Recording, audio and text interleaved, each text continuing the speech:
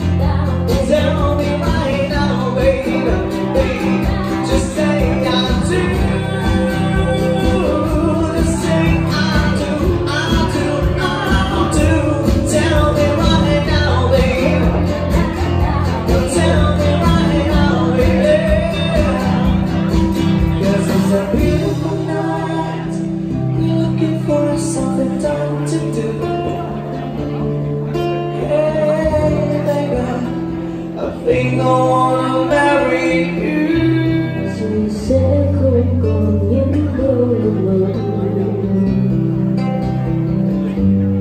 Anh rồi sẽ nuôi lại những hy vọng. Tháng ngày rồi trôi đi.